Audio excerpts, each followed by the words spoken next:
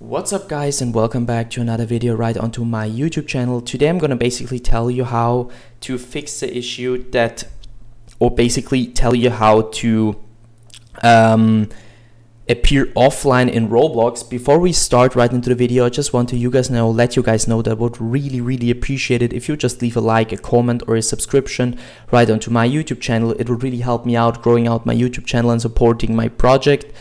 Um, so subscribing is free for you and it would be a massive support for me. So just hit the subscribe button guys. Oh, thank you for that. And let's get started. So uh, the first thing you're gonna basically do is open up Roblox. You can do that by uh, going to your browser and type in Roblox or you have downloaded it on your PC. I've downloaded it on my PC, so I'm gonna basically double click it and start it.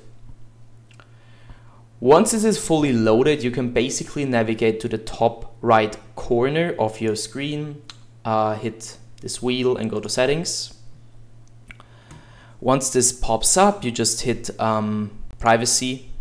And now there are a few things to do. So basically, um, you can go to who can message me and type in no one, who can chat with me in app, no one, who can chat with me, no one. And also here, who can invite me to private service? No one. Who can join me in experience? No one. Um, basically, you need to hit everything on no one, and nobody will ever know when you're online, and nobody will ever uh, be able to basically communicate with you. So that's it. Basically, you can basically uh, just close the program and restart it. If it didn't work, just uh, log in again, then it will refresh. Um, so guys, I hope I could actually help you out with this one. If it was like that, just leave a like, a comment or a subscription right onto my channel. I hope I could help you out with this one. That's it for this video guys. I hope you have a wonderful day. See you at the next one and bye.